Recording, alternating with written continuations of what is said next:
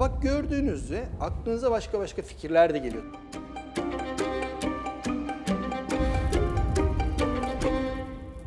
Merhaba, Murat Aslan ben.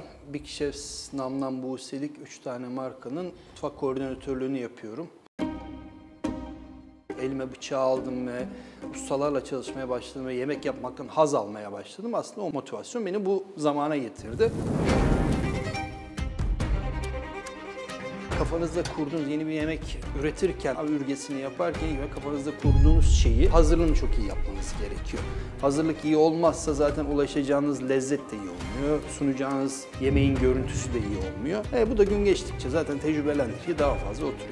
Bonna'nın da argesi çok iyi çalıştığı için aslına bakarsanız benim kendimi geliştirmeme de yemek yapma olarak destek veriyor ürettiği tabaklar insana, doğaya değer veren markalar hiçbirini yapmayı seviyoruz. Bonna'nın bir de bu tarafı var. Eğer dünyayı bir şeyde sahipleniyorsa bir firma bizim de ona destek olmamız gerekiyor. İnsani değerleri oluyorsa bu yönetime de, ürüne de, yaptığı şeye de yansıyor diye düşünüyorum.